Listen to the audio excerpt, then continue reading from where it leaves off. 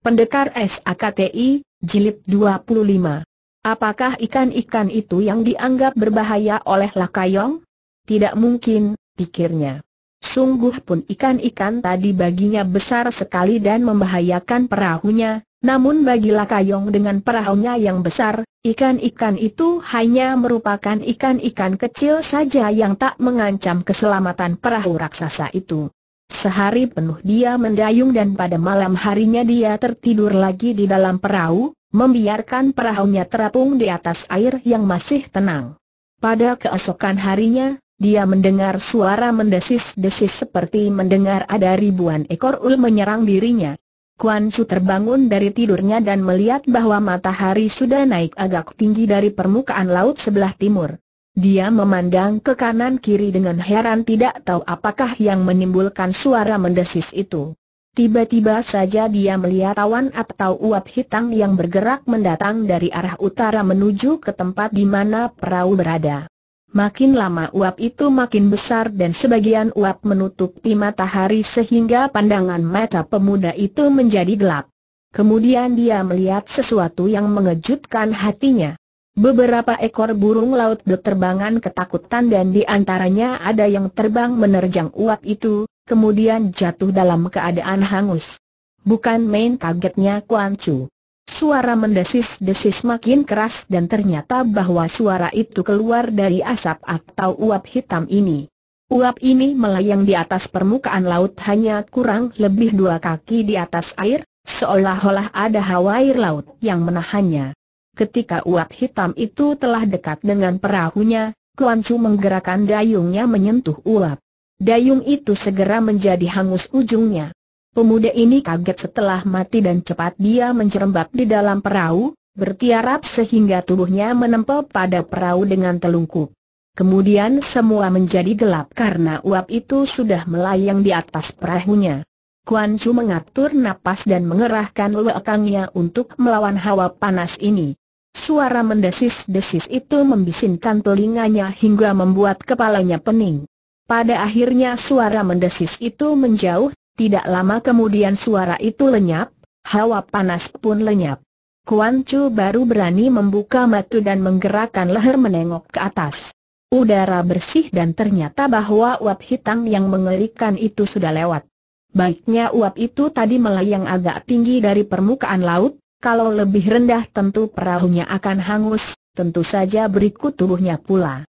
Sesudah yakin bahwa tidak ada bahaya lagi, Kuan Chu duduk dan pada saat itu juga dia dapat merasakan getaran yang luar biasa hebat pada perahu yang didudukinya.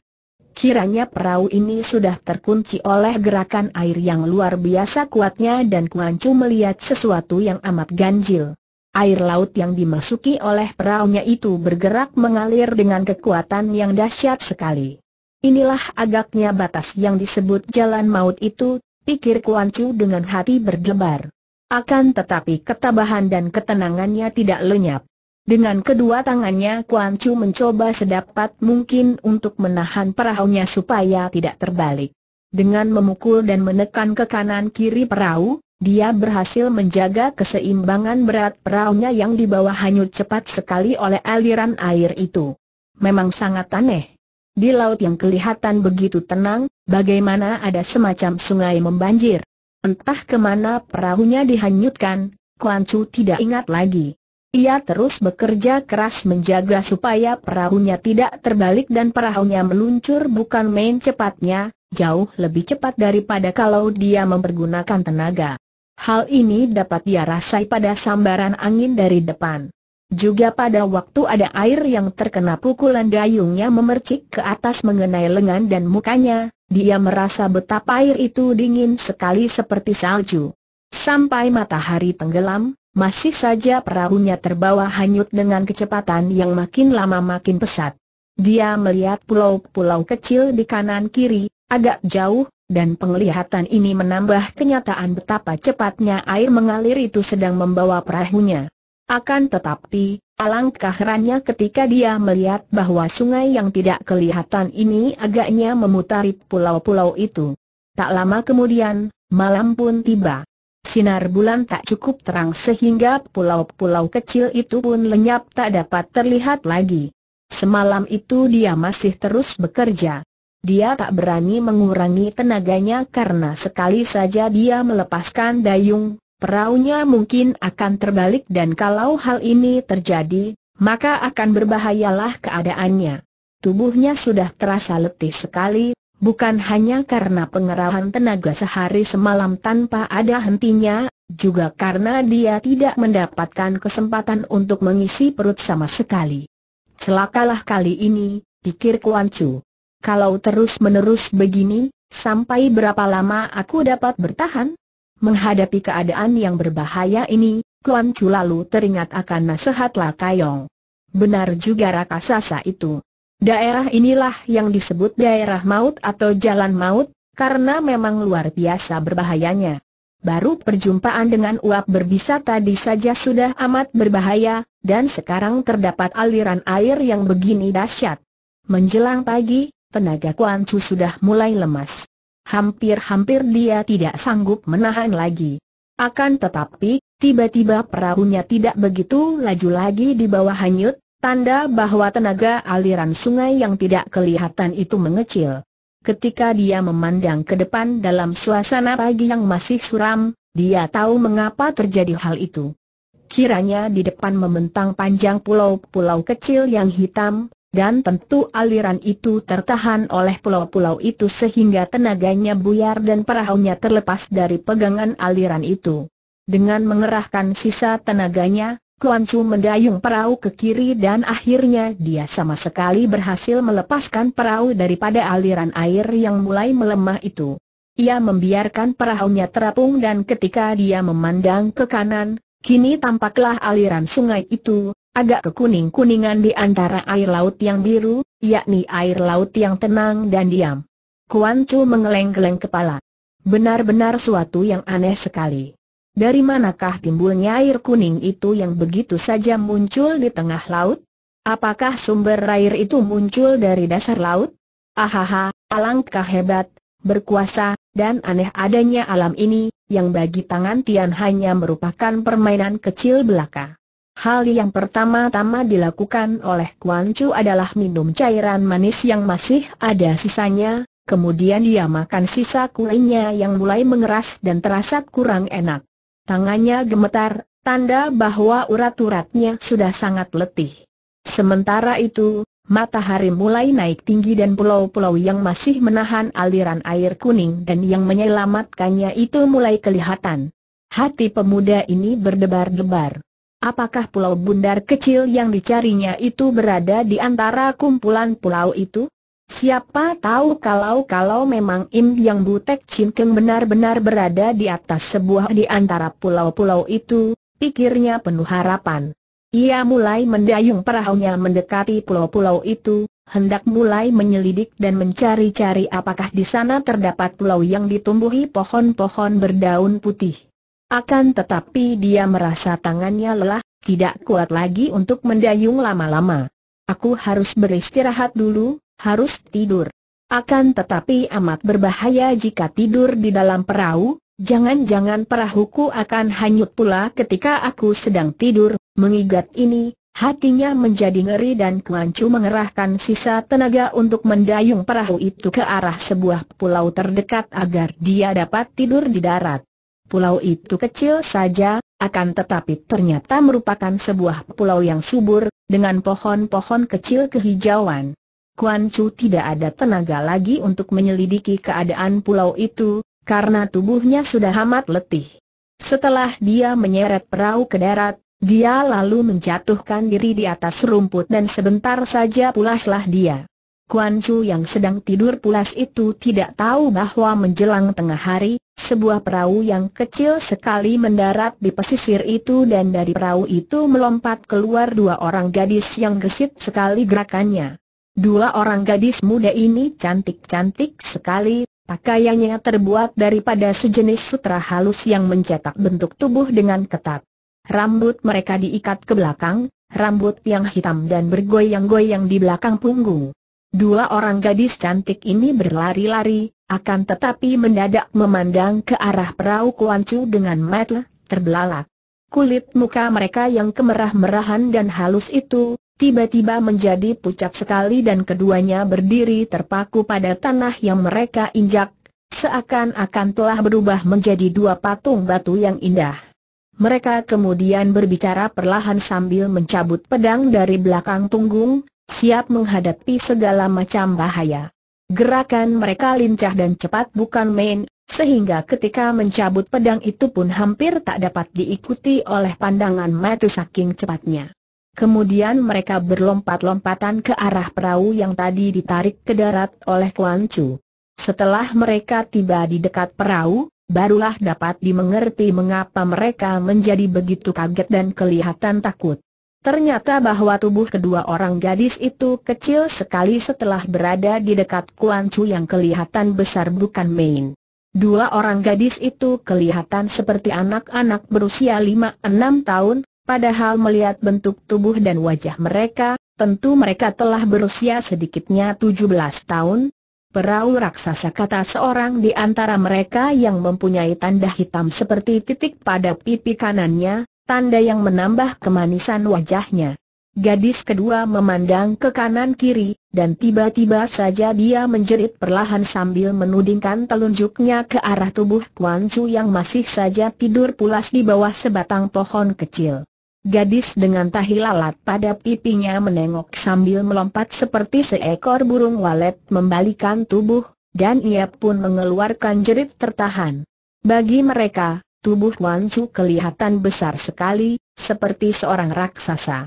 Keduanya berbicara perlahan dan dengan gerakan cepat akan tetapi ringan sekali, dua orang gadis itu berlari-lari menghampiri Kuan Chu dengan pedang siap di tangan. Walaupun tubuh mereka kecil, akan tetapi mereka mempunyai ketabahan besar, karena kini mereka sama sekali tidak melarikan diri ketakutan, bahkan berani menghampiri raksasa itu. Hal ini tidak mengherankan kalau kita mengetahui siapa adanya kedua orang gadis itu. Mereka ini adalah dua orang putri raja yang sudah meninggal dunia dari suku bangsa Katai yang hidup di sebuah di antara pulau-pulau di daerah itu, dan kedua orang gadis ini sekarang dianggap sebagai pemimpin mereka, karena di antara mereka, dua orang gadis ini dianggap sebagai orang-orang yang mempunyai kepandaian paling tinggi. Ini dapat dibuktikan dari gerakan mereka yang benar-benar ringan dan cepat sekali, seakan-akan mereka mempunyai sepasang sayap seperti burung yang gesit sekali. Pada saat mereka tiba di dekat Kuan Chu yang masih tidur pula saking lelahnya, gadis bertahi lalat pada pipinya mencabut keluar sehelai sapu tangan merah dari balik baju di dadanya, sedangkan gadis kedua lalu menurunkan tali temali yang seperti sebuah jala ikan dari punggungnya. Meskipun dia sedang tidur pulas, kalau sekiranya yang datang mendekatinya itu adalah orang-orang biasa, agaknya Kuan Chu masih mampu mendengar juga karena telinganya sudah terlatih baik. Akan tetapi yang datang adalah dua orang gadis yang memiliki ilmu meringankan tubuh luar biasa sehingga daun-daun kering yang mereka injak pun tidak menimbulkan suara apa-apa. Hal ini bukan karena hanya ilmu mereka sudah tinggi, akan tetapi juga karena mereka memakai sepatu yang bahannya lemas dan empuk sekali. Gadis bertahi lalat pada pipinya itu dengan gerakan cepat lalu meloncat ke dekat kepala Kuan Chu yang kelihatan besar sekali. Sekali ia mengerahkan tangan, sapu tangan merah itu melayang dan menyambar muka Kuan Chu. Pemuda ini merasa bahwa ada sesuatu yang halus menutupi mukanya. Dia cepat-cepat membuka matanya, akan tetapi dari sapu tangan merah ini keluar keharuman luar biasa yang membuat dia tidak kuasa membuka mata saking mengantuknya dan dalam sekejap saja dia telah tertidur pulas kembali. Gadis kedua yang berwajah gembira, cepat bergerak, melemparkan jalannya menyelimuti tubuh Kuan Chu. Dengan gerakan cekatan dia lalu membelit tubuh Kuan Chu dengan jala itu dan dibantu oleh gadis pertama lalu mengikat sana-sini sehingga sebentar saja tubuh Kuan Chu sudah terbungkus jala itu dan kelihatan bagaikan seekor ikan besar masuk ke dalam jala yang kuat. Pergilah kau memanggil kawan-kawan untuk membawa raksasa ini pulang, kata gadis bertahi lalat kepada adiknya. Gadis kedua sambil tertawa-tawa gembira lalu meloncat dengan cepat dan berlari-lari ke arah perahunya dan berlayar pergi.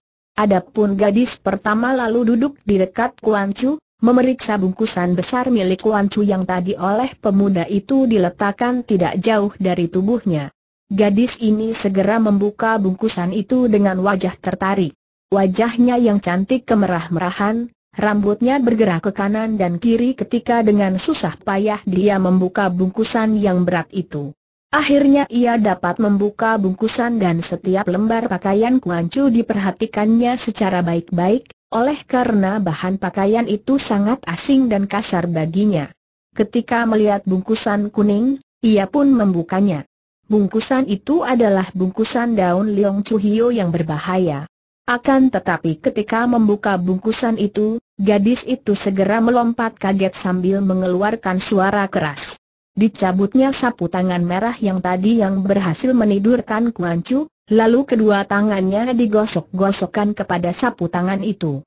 Setelah menyimpan kembali sapu tangannya, ia duduk dan memegang daun-daun itu.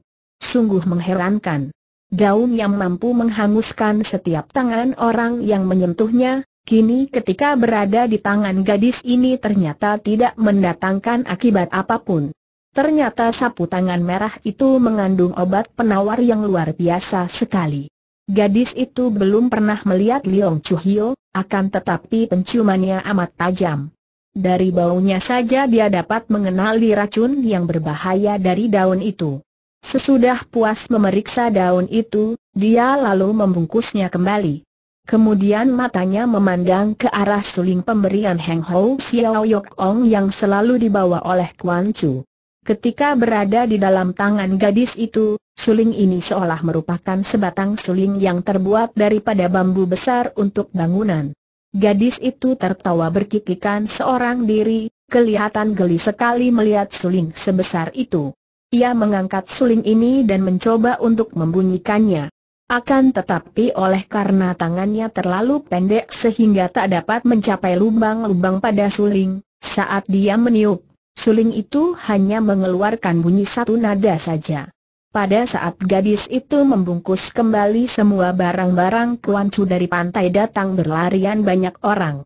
Ternyata bahwa gadis kedua tadi sudah datang lagi dan kini ia dikawani oleh 20 orang gadis-gadis dan wanita-wanita muda yang rata-rata memiliki kecantikan yang menarik hati. Akan tetapi mereka ini pun kecil-kecil seperti dua gadis tadi. Segera keadaan di situ menjadi ramai ketika semua wanita itu mengagumi Kuan Chu dan memandangnya sambil terheran-heran. Mereka kemudian bekerja sama, menyeret tubuh Kuan Chu ke pantai dan dengan susah payah karena tubuh Kuan Chu berat sekali, mereka menaikkan Kuan Chu ke dalam perahu pemuda itu, kemudian beramai-ramai mendorong perahu ke laut. Kepala perahu itu diikat dengan tambang yang tersedia di perahu Kuan Chu, diikatkan pada sepuluh buah perahu-perahu kecil milik mereka. Kemudian mereka mendayung perahu-perahu itu dan menarik perahu Kuancu pergi dari pulau itu. Orang-orang pendek ini tinggal di sebuah pulau yang berbukit, tak jauh dari pulau kosong di mana Kuancu ditawan. Mereka mendarat dan menyeret Kuancu ke darat, terus menariknya ke dusun mereka yang penuh dengan rumah-rumah kecil. Kuancu dibiarkan berbaring di atas tanah. Pada saat itu, Kuan Chu Siuman kembali dari keadaan setengah mabuk akibat pengaruh sapu tangan merah tadi. Dia menggerakkan kaki tangannya dan merasa betapa tubuhnya terikat oleh tali-tali yang kuat. Ketika dia memandang, ternyata dia berada di dalam sebuah jala yang aneh. Kuan Chu terkejut dan terheran-heran. Mimpikah aku? Demikianlah dia berpikir. Tiba-tiba dia mendengar suara di dekat mukanya dan ketika dia memandang ke depan, hampir saja dia berteriak saking kaget dan herannya. Dia melihat dua orang gadis kecil sekali yang cantik menarik. Gadis pertama yang manis dengan tahi lalat di pipinya melakukan gerakan seperti orang bersilat, bersiap sedia untuk menyerangnya, juga gadis kedua yang cantik bersiap-siap. Kemudian dia melihat gadis pertama mencabut keluar sehelai sapu tangan merah dari balik bajunya, maka terciumlah bau yang amat harum. Teringatlah Kuan Chu bahwa ketika dia hendak bangun, dia pun mencium bau ini, maka dia dapat menduga bahwa sapu tangan itulah yang tadi telah membuat dia pingsan. dia menggunakan kecerdikannya dan tidak jadi meronta untuk melepaskan diri. Ia diam saja sambil memandang penuh perhatian. Benar saja, pada saat melihat bahwa raksasa yang tertawan itu tidak memberontak, dua orang gadis itu tidak jadi menyerang, hanya memandang penuh kewaspadaan. Kuan Chu menggerakkan matanya memandang ke depan dan dia langsung merasa terheran-heran. Dia direbung oleh banyak orang, akan tetapi anehnya, semua orang kecil yang berada di situ adalah wanita-wanita belaka. Mimpikah aku? Setelah bertemu dengan raksasa-raksasa apakah sekarang aku sudah berubah pula seperti raksasa dan orang-orang wanita ini sebetulnya orang biasa? Atau sudah gilakah aku demikian Kuancu berpikir dengan bingung. Memang, kalau dibandingkan, Keadaannya kini terbalik sama sekali dengan keadaannya beberapa hari yang lalu. Lakayong memiliki tubuh yang tiga kali lebih besar tubuhnya dan sekarang, dia menjadi tiga kali lebih besar daripada wanita-wanita ini. Kalian siapakah? Dan kenapa aku ditawan ia mencoba bertanya dengan suara halus agar tidak menimbulkan rasa takut pada orang-orang wanita itu. Akan tetapi ketika gadis cantik bertahi lalat di pipinya itu menjawabnya, Kuan Chu menjadi bingung bukan main karena dia tak mengerti sedikit pun juga akan maksud kata-katanya. Suara gadis itu merdu dan halus, akan tetapi ucapannya bagi telinga Kuan Chu hanya terdengar tidak karuan seperti berikut. Kari kaya iye nana. Celaka, sekarang kembali aku bertemu dengan orang-orang aneh, pikir Kuan Chu. Bentuk tubuh yang kecil itu, bahasa yang aneh itu, tidak sangat mengherankan Kuan Chu karena sesudah bertemu dengan Lakayong dan rakyatnya, dia tahu bahwa di dunia ini terdapat manusia-manusia yang aneh. Yang sangat mengherankan hatinya adalah bahwa semua orang katai yang berada di situ hanya wanita-wanita belaka. Apakah ini dunia wanita? Kuan Chu teringat akan pengalamannya ketika bertemu dengan Lakayong dan rakyatnya. Bahasa yang dipergunakan oleh Lakayong juga jauh berbeda dengan bahasanya sendiri. Jangankan yang digunakan oleh bangsa raksasa itu, bahkan yang digunakan di daratan Tiongkok sendiri ada puluhan atau ratusan macam. Akan tetapi, walaupun ucapannya berlainan namun tulisannya semua sama. Inilah yang memudahkan seseorang di Tiongkok untuk melakukan hubungan dengan orang-orang di daerah lain. Saat berada di pulau raksasa, dia dapat berhubungan dengan menggunakan tulisan kuno. Siapa tahu kalau orang-orang kecil ini pun dapat membaca tulisannya. Sesudah berpikir demikian, Kuan Chu lalu mengeluarkan telunjuknya dari jala, diikuti oleh pandang mata para wanita itu. Kuan Chu lalu menuliskan tulisan huruf kuno seperti yang dipergunakan oleh Lakayong. Wanita-wanita kecil itu menghampirinya dan melihat coret-coretnya, namun mereka tidak mengerti artinya. Kuan Chu lalu menghapus coretan pada tanah itu dan kini dia mencoret tanah dengan tulisan yang lebih muda usianya daripada tulisan yang dipergunakan oleh Lakayong. Dapat membaca ini tanyanya dalam tulisan itu. Usahanya berhasil. Wanita-wanita itu lantas saling pandang, kemudian gadis bertahi lalat mengangguk-anggukan kepalanya dan mencoret tanah di dekat tulisan Kuancu. Aku dapat membaca tulisanmu, kau siapakah dan datang dari mana? Bukan main girangnya hati Kuancu ketika dia membaca tulisan halus dan kecil itu, akan tetapi yang dapat dibacanya dengan jelas. Biarkan aku duduk dan lepaskan dulu jala ini, aku akan bercerita, tulisnya karena amat sukarlah menulis sambil berbaring miring seperti itu. Ia tidak mau melepaskan diri dengan kekerasan, karena khawatir kalau-kalau akan dicurigai. Gadis yang menjadi pemimpin itu berunding dengan adiknya dan dengan wanita-wanita lain. Kemudian mereka lalu mendekati dan dari luar mereka mengikat dua tangan Kuancu di belakang tubuh, juga mengikat kedua kaki pemuda itu erat-erat. Kuan Chu merasa geli sekali dan tangan-tangan yang halus serta kecil itu bergerak amat cepat, jari-jari yang kecil seakan-akan mengitik-itiknya, akan tetapi dia menahan tawanya dan menenangkan diri. Dia dapat menduga bahwa wanita-wanita ini tak percaya padanya dan akan membelenggunya lebih dulu sebelum melepaskannya dari jala itu. Dugaannya sangat tepat. Setelah dua kaki tangannya dibelenggu, jala itu lalu dibuka. Ia dibolehkan bangun dan duduk bersandar pada batu karang yang bentuknya seperti pilar. Di sini ia diikat lagi, tali yang panjang dibelit-belitkan pada lengan dan dadanya, terus diikatkan pada batu karang itu. Yang lebih hebat, gadis kedua yang lincah itu sekali melompat telah berdiri pada pundak kirinya, membawa sehelai tali yang lalu dikalungkan dua kali pada lehernya. Walaupun hanya longgar saja, lehernya tetap diikat pada pilar itu. Satu akal yang cerdik sekali. Kuan Chu duduk bersila sambil bersandar pada tiang batu karang. Dia mencoba dengan urat-urat tangannya untuk mengetahui sampai di mana kekuatan tali yang mengikatnya. Ia mendapat kenyataan bahwa jika dia mau, mudah saja baginya untuk merenggut putus tali itu. Gadis bertahi lalat pada pipinya itu lalu menggunakan telunjuknya menuliskan huruf-huruf di atas tanah di depan Kuancu. Aku bernama Malita dan ini adikku Malika. Kami berdua yang mengepalai bangsa kami di pulau ini. Kau menjadi tawanan kami dan jangan mencoba untuk memberontak, sebab biarpun tubuhmu besar tetapi kalau kami mau, dengan mudah kami akan membunuhmu dengan senjata-senjata kami yang berbisa. Kau seorang laki-laki dan pada saat ini, kami benci dan tidak percaya terhadap semua laki-laki. Akan tetapi kau datang dari bangsa raksasa, kau siapakah dan mengapa kau datang ke daerah kami? Kuan Chu membaca tulisan itu dan tersenyum.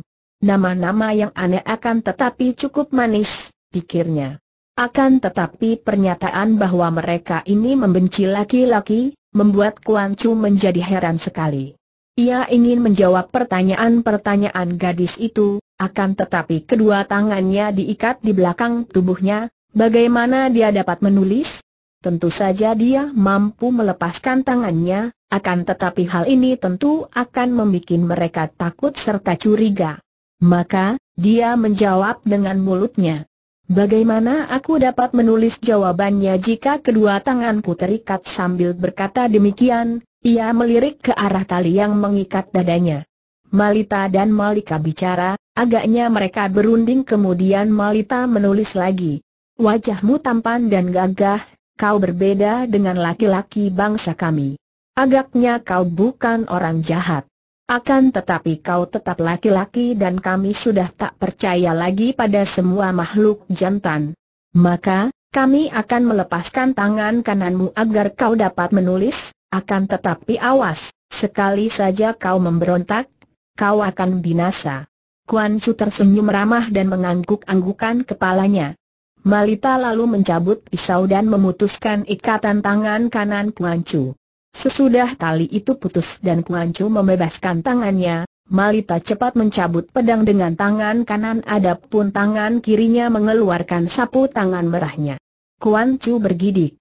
Ia lebih takut kepada sapu tangan yang harum itu daripada pedang di tangan Malita. Juga Malika mencabut pedangnya dan melompat berdiri. Wanita-wanita yang berdiri agak jauh dari tempat itu pun juga bersiap sedia, semua mencabut pedang dan bersikap seperti sekumpulan orang bersiap untuk bertempur. Melihat cara mereka mencabut pedang dan bergerak, Kuan Chu menjadi kagum karena mereka itu terang sekali memiliki kepandaian silat yang tinggi. Orang-orang ini kecil dan lemah, akan tetapi sebaliknya daripada rakyat Lakayong yang bertenaga besar namun lamban, mereka ini agaknya amat cekatan dan cerdik. Kuan Chu lalu mulai menulis di atas tanah. Aku seorang perantau yang bernama Kuan Chu. Aku tiba di daerah ini tanpa sengaja dan aku tidak bermaksud buruk. Biarpun aku seorang laki-laki, akan tetapi aku tidak pernah mengganggu orang, apalagi orang wanita. Kalian percayalah kepadaku. Kedua orang gadis itu saling pandang dan kini beberapa orang wanita datang pula untuk ikut membaca tulisan Kuan Chu. Mereka bicara dengan ribut dan melihat sikap mereka, Kuan Chu dapat menduga bahwa mereka ini sebagian besar tak percaya akan tulisannya tadi. Kami sudah cukup sering tertipu oleh laki-laki yang manis mulut tetapi berhati palsu, tulis Malita. Karena itu, kau tentu akan maklum bahwa kami tidak dapat sembarangan saja percaya kepadamu. apa yang kau cari di tempat ini? Aku mencari sebuah pulau kecil yang bundar dan ditumbuhi pohon-pohon berdaun putih. Harap kalian melepaskan aku dan aku tidak akan mengganggu kalian, akan kulanjutkan perantauanku. Bahkan kalau ada sesuatu yang dapat kulakukan untuk kalian, aku akan membantu kalian karena aku adalah seorang sahabat. Kembali orang-orang wanita itu ribut-ribut ketika membaca tulisan ini.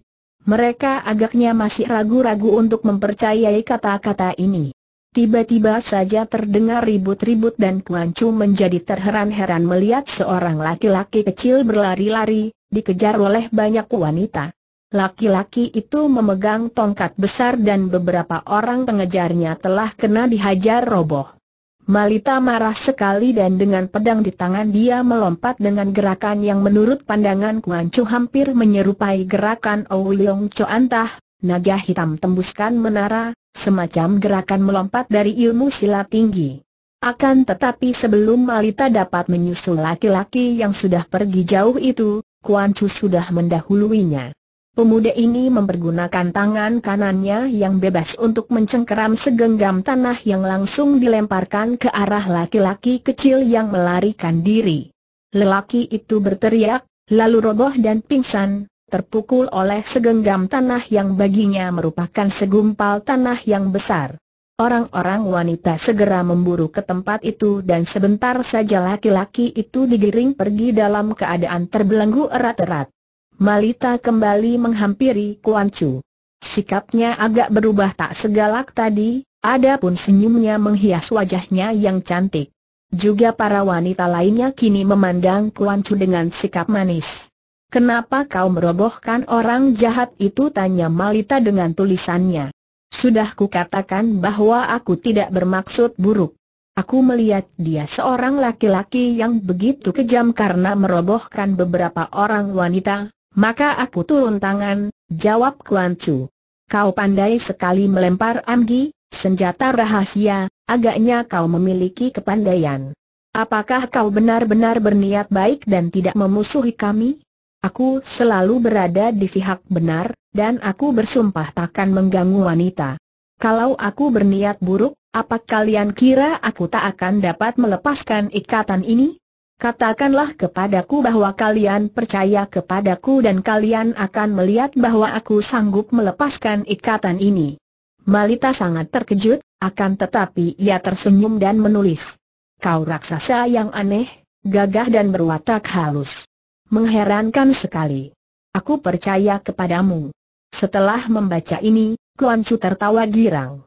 Sekali dia mengerahkan lekangnya, Terdengar suara keras dan semua ikatannya putus.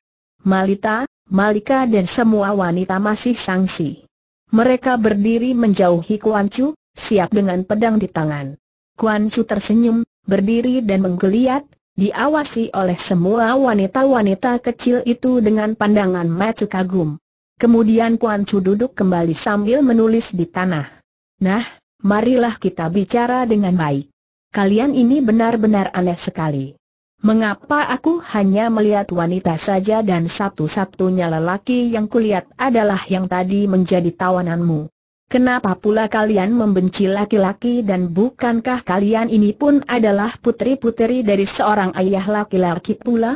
Membaca tulisan ini, kembali semua wanita ribut-ribut, bahkan ada yang mengucurkan air mata dan menangis. Sungguh mengharukan sekali. Kuan Chu menjadi makin terheran. Akan tetapi Malita menerima sebuah gulungan kertas berikut alat tulis, segera menulis panjang lebar untuk menceritakan keadaan bangsanya kepada pemuda raksasa itu.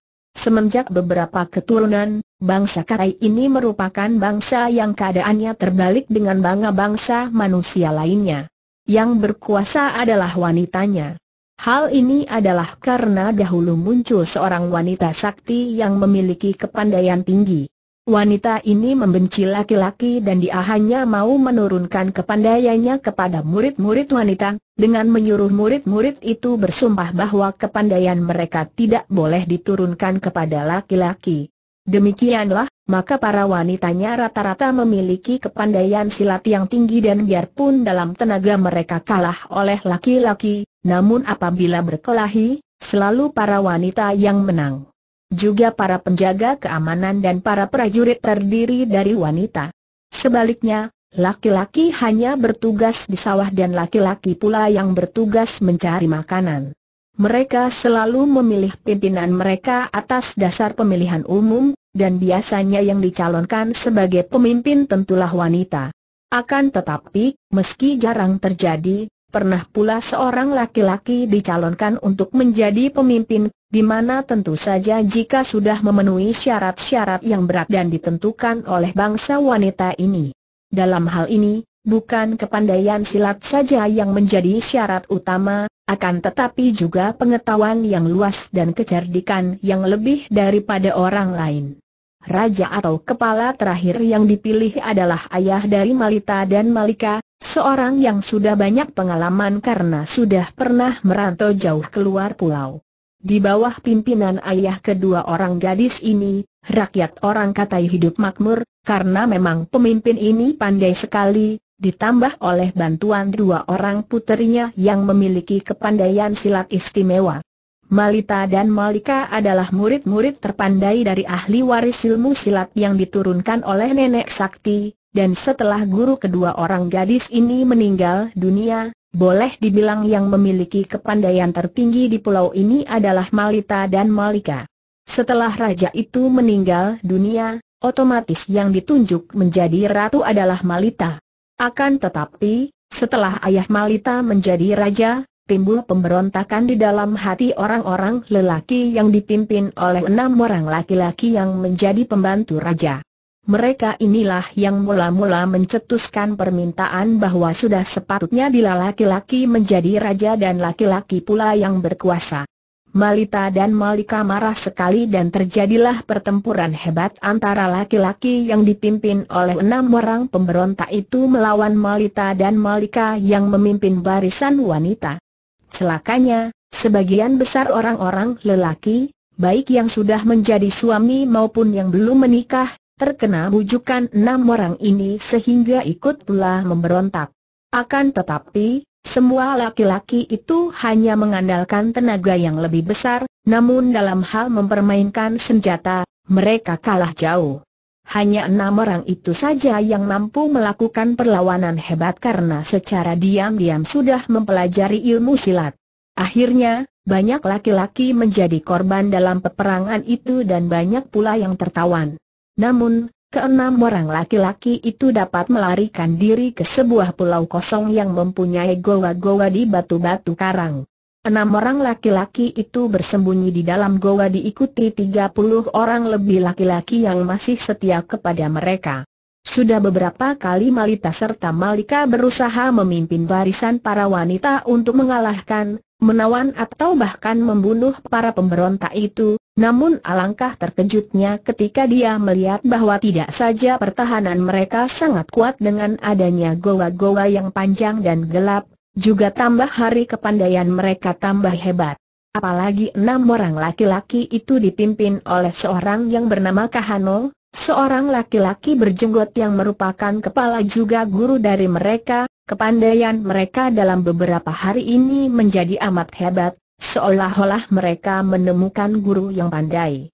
Tadinya, hanya Malita dan Malika berdua saja dengan mudah bisa mendesak dan hampir mengalahkan enam orang laki-laki pemimpin pemberontak itu. Namun beberapa pekan kemudian ketika mereka mencoba untuk menyerang para pemberontak, keenam orang laki-laki itu maju dan menghadapi Malita dan adiknya.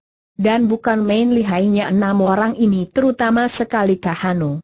Mereka bersenjata pedang pendek dan permainan pedang ini mempunyai bentuk dan gaya baru yang luar biasa sekali. Hampir-hampir saja Malita dan Malika kalah. Namun akhirnya, karena anak buah Kahano yang lain-lain agaknya baru saja mempelajari ilmu silat, Malita dapat memukul mundur semua laki-laki itu. Namun mereka segera berlari-lari dan masuk ke dalam goa, sehingga kembali gerakan Malita gagal. Untuk menyerbu ke dalam goa amat berbahaya sekali karena Kahano dan anak buahnya menghujankan anak panah dari dalam goa. Nah, hal inilah yang menggelisahkan hati kami, saudara Kuan Chu, tulis Malita akhirnya sesudah menceritakan semua hal yang terjadi di pulau itu dengan tulisan-tulisan yang kecil-kecil. Oleh karena itulah kami amat bercuriga dan membenci kaum laki-laki yang ternyata telah memberontak dan berhati palsu. Laki-laki yang kau robohkan tadi adalah seorang di antara para tawanan kami yang mencoba melarikan diri. Kami benar-benar gelisah sekali. Kepandaian Kahano maju demikian cepatnya sehingga lihai sekali, kalau semua laki-laki yang ikut dengan dia mendapat latihan dan memiliki kepandaian seperti dia, tentu kami akan kalah. Kuan Chu tersenyum, lalu dia pun minta kertas dan menuliskan banyak kata-kata di situ. Saudara Malita, Malika dan semua wanita yang berada di sini, Maafkan apabila aku menyatakan sesuatu yang mungkin akan terasa janggal untuk kalian. Di duniaku, pihak laki-lakilah yang berkuasa dan pihak laki-laki yang mengatur seluruhnya. Para wanita ribut-ribut sesudah membaca ini dan hampir saja mereka menyerang Kuan Chu kalau saja tidak dicegah oleh Malita. Kaum laki-laki memang mau menang sendiri saja Malita menulis dengan coretan cepat, mengandung kemendongkolan hati. Mendiang ibuku dulu pernah bercerita bahwa dulu pernah kaum laki-laki kami memegang kekuasaan dan bagaimana keadaan nasib kami kaum wanita. Kaum lelaki enak-enak saja, tetapi kami wanita yang bekerja keras. Bukan itu saja, kami diperlakukan bagai barang permainan, mudah ditukar dan diperjualbelikan. Laki-laki mempunyai istri berapa saja sesuka hatinya. Bahkan raja di kala itu memiliki istri lebih dari 30 orang. Apa begitu pula keadaan di duniamu? Diam-diam Kuan Chu harus mengakui bahwa di dunianya memang hampir demikianlah keadaannya. Memang banyak orang lelaki, tidak semua dan ada kecualinya tentu, yang menganggap wanita sebagai barang permainan dan memandang rendah sekali kepada kaum wanita. Bahkan dia pun telah mendengar tentang kaisar dan para pembesar yang mempunyai selir tidak hanya 30 orang wanita, bahkan lebih banyak lagi. Ia harus berlaku cerdik untuk dapat membereskan persoalan pertempuran antara kaum laki-laki dan kaum wanita dari bangsa Karai ini. Kuan Chu lalu menulis lagi. Sama sekali tidak begitu. Kaum laki-laki di negaraku selalu memperlakukan baik sekali terhadap wanita tak ada seorang pun laki-laki mau mengganggu wanita, menikah hanya dengan seorang istri saja, hidup damai dan rukun, bekerja sama demi kebahagiaan suami istri dan anak-anaknya. Laki-laki bertenaga lebih besar dan karenanya pekerjaan-pekerjaan berat yang memerlukan tenaga harus dilakukan oleh kaum lelaki, sebaliknya pekerjaan halus dan kerajinan tangan dilakukan oleh pihak wanita. Mendengar ini, Para wanita saling pandang dan di antaranya ada yang mengucurkan air mata saking terharu hatinya. Alangkah bahagianya hidup kami kalau keadaan kami bisa seperti yang kau ceritakan itu, Malita menulis. Akan tetapi sayang, kaum laki-laki bangsa kami lain lagi, dan itulah sebabnya maka dahulu kaum wanitanya memberontak dan mempelajari ilmu kepandaian supaya dapat menguasai laki-laki sehingga kami dapat mencegah perlakuan sewenang-wenang. Kenapa tak bisa diatur begitu? Kalian harus berusaha dan aku akan membantu kalian sehingga di pulau ini akan tercapai keadaan makmur dan damai seperti yang aku ceritakan tadi. Wanita-wanita itu nampak girang dan wajah mereka berseri-seri. Diam-diam Kuan Chu harus mengakui bahwa wanita-wanita cilik ini rata-rata memiliki wajah yang amat cantik menarik, terutama sekali Malita dan Malika, yang kecantikannya tidak kalah oleh wanita-wanita di kota raja di negaranya. Akan tetapi, biarpun kami amat berterima kasih kepadamu, kami sangsi apakah kita akan dapat mengalahkan Kahano yang sudah tua itu. Dia mempunyai niat yang sangat buruk. Pertama-tama dia menghendaki agar aku dan adikku Malika menjadi istrinya dan dia pun mau menjadi raja di sini ketika menuliskan hal ini, muka Malita menjadi merah saking marah dan jengahnya. Dan yang amat mengkhawatirkan, kepandaiannya makin lama semakin maju pesat sekali setelah dia berada di pulau kecil itu. Agaknya di pulau pohon putih itu dia mendapatkan seorang guru yang pandai. Mendengar ini, Berdebarlah hati Kuan Chu. Pulau Pohon Putih? Di manakah itu? Itulah pulau yang kini menjadi tempat tinggal mereka. Pulau itu ditumbuhi pohon-pohon putih, dan di sana terdapat banyak sekali goa-goa yang panjang dan aneh. Sebetulnya pulau itu menjadi tempat penguburan raja-raja kami, bahkan nenek sakti yang pernah menurunkan ilmu silat pada kami, juga berasal dari pulau itu dan dikubur di sana pula. Kuan Chu menyembunyikan rasa girangnya.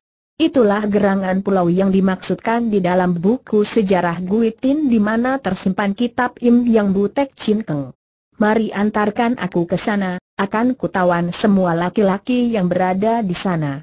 Akan kutangkap Kahano yang memberontak itu tulisnya gagah sambil berdiri. Akan tetapi Malita nampak ragu-ragu. Apalagi Malika yang berwatak lebih keras daripada kakaknya. Gadis ini berdiri dan mencabut pedangnya. Raksasa, tulisnya di tanah menggunakan ujung pedangnya, gampang saja kau bicara seakan-akan kau benar-benar akan dapat menangkan Kahano serta kawan-kawannya. Sekarang begini saja, aku dan kakakku Malita hendak menguji kepandaianmu. Biarpun kau besar sekali dan tentu tenagamu juga amat besar, akan tetapi kalau tidak memiliki kepandaian, apa gunanya? Malika menegur adiknya dengan kerling mata tajam, Kemudian ia pun menulis. Maafkan adikku yang nakal dan kasar, saudara Kuan Chu. Akan tetapi, kata-kata itu ada benarnya pula. Kami tidak mau membiarkan kau yang bermaksud baik itu mengalami kegagalan dan celaka di tangan Kahano yang lihai. Maka, maukah kau kuuji kepandaianmu? Kuan Chu mengangguk, dan tanpa banyak cakap, dia bersiap sedia, berdiri menghadapi dua orang gadis itu dengan hati-hati. Dia dapat menduga bahwa kedua orang gadis yang kecil ini memiliki ginkang yang amat tinggi dan karenanya tentu mempunyai kepandaian yang tak boleh dipandang ringan.